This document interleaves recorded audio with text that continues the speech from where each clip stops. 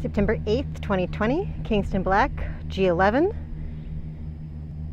planted in 2017. Starch index on these is about a 2 to 3, and the Brix is at about a 10. So obviously not ready. We want that Brix to be much higher on these Kingston Black.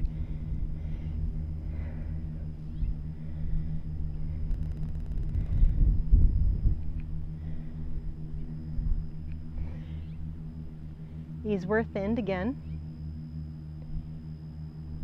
or rather, these were thinned. There appears to be a little bit of drop as well going on.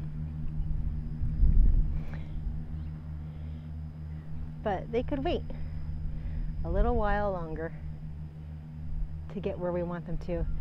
So this is interesting here too.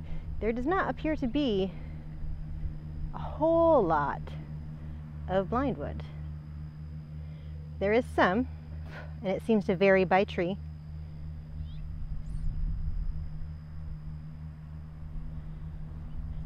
So this one looks pretty good. A little bit right down here.